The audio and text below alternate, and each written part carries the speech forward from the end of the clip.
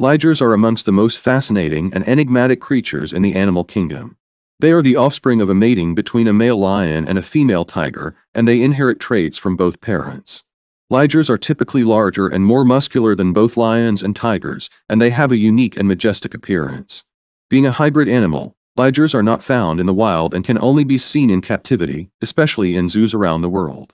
However, with conservation efforts and proper breeding practices, ligers may one day become a more common sight in their natural environment.